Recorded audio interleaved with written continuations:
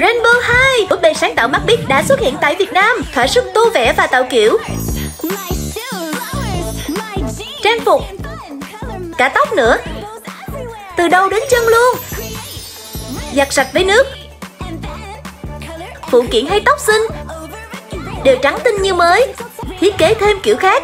Cầu vòng chấm đi hay tô theo mảng. Cầm bút lên và vẽ thôi.